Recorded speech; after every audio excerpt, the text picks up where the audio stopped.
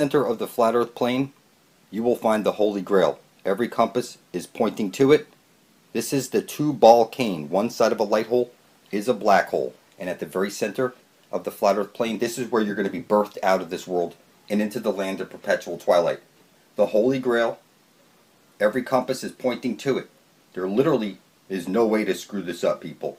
At the very center of the flat earth plane, we will find our exit out of the matrix. It's right over there. We will pass into the Garden of Eden.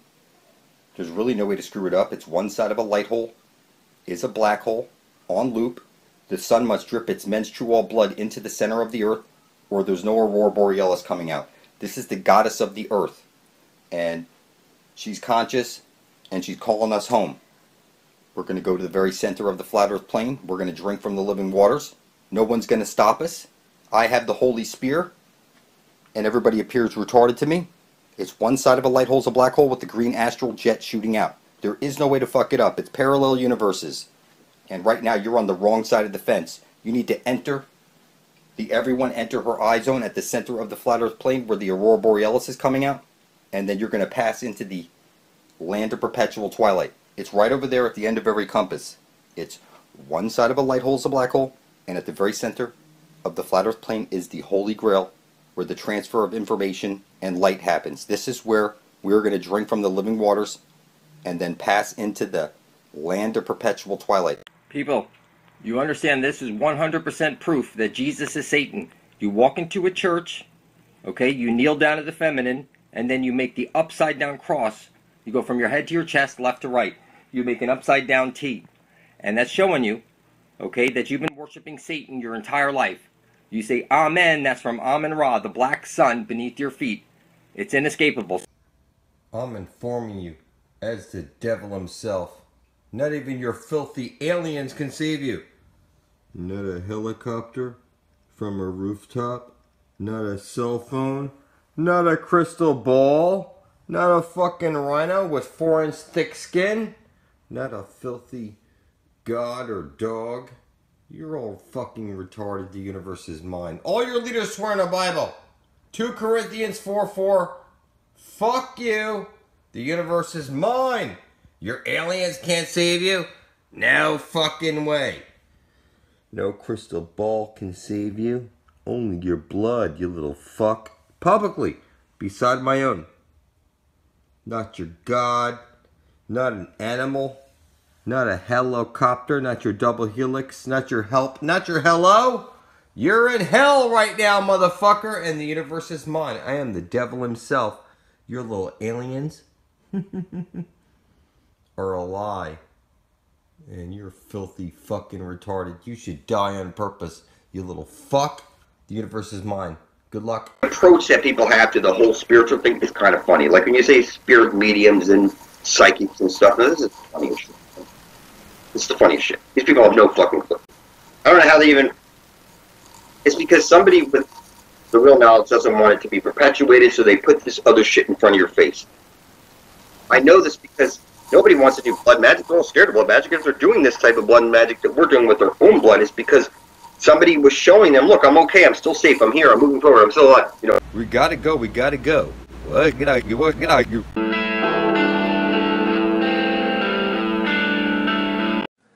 Now, here comes this source. Now you have to be very observant now. The true name of Satan, the Kabbalists say, is Yahweh.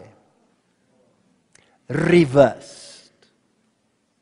For Satan is not a black god, but a negation of God. For initiates, this is not a person, but a force. Do you have heard of movies that say, the force be with you? Okay. Please note, I'll read this again.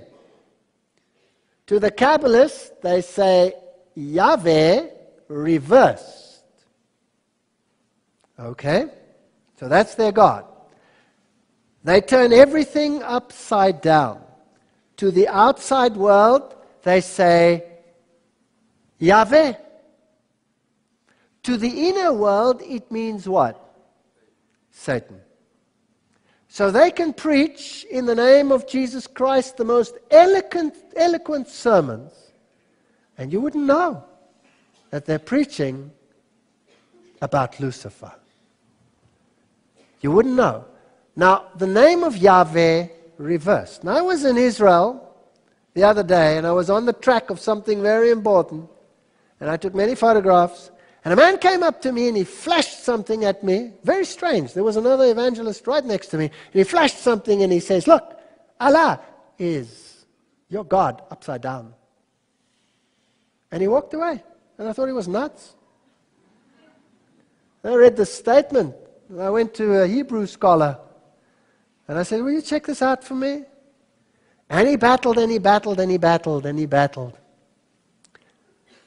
When the Mason learns that the key to the worry on the block is the proper application of the dynamic dynamo of living power, he has learned the mastery of his craft. The seething energy of Lucifer are in his hands. Manly Palmer Hall, high Masonic form. The devil is now called darkness by the church, whereas in the Bible he's called the Son of God, Lucifer, Son of the Morning. One quote after the other. And here's the other quote Blavatsky, Secret Doctrine. Jehovah, esoterically, is also the serpent or dragon. I'm not saying it. The highest source in occultism is saying it. That tempted Eve, and the dragon is an old glyph for astral light, which is wisdom in chaos. So, esoterists turn everything upside down. Here she writes in Secret Doctrine the great serpent of the Garden of Eden and the Lord God are identical. They're Luciferians, you see.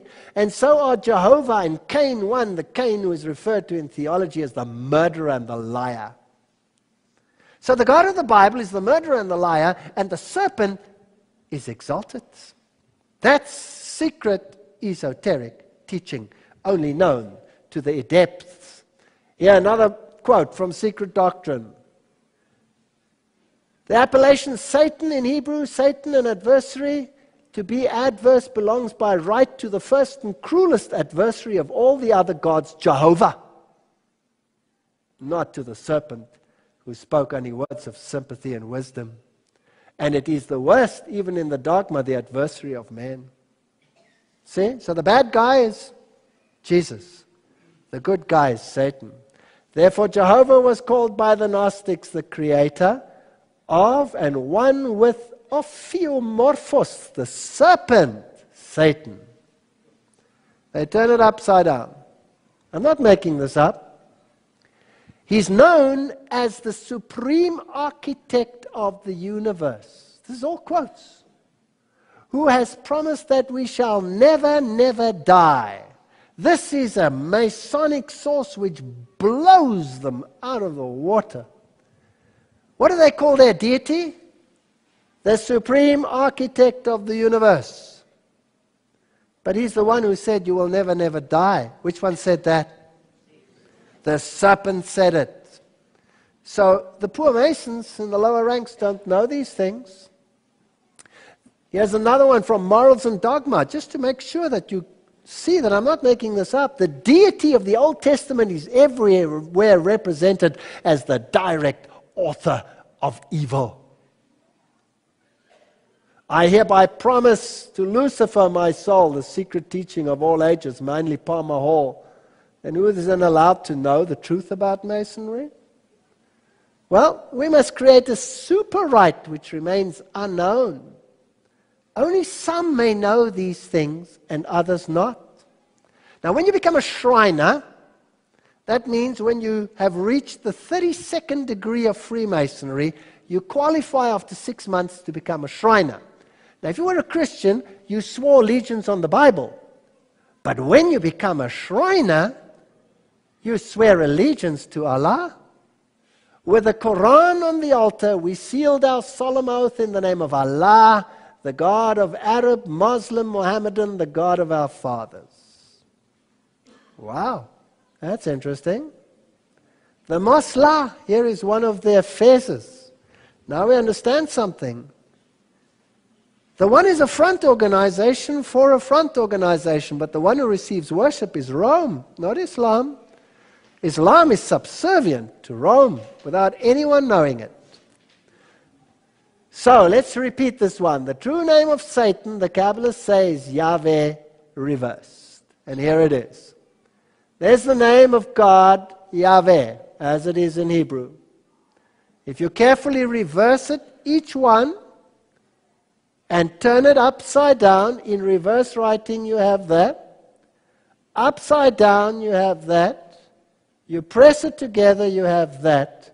And that spells Allah in Arabic. Wow. That's fascinating stuff. So that man who came to me there and flashed this at me and disappeared, was he right? That's scary. That's.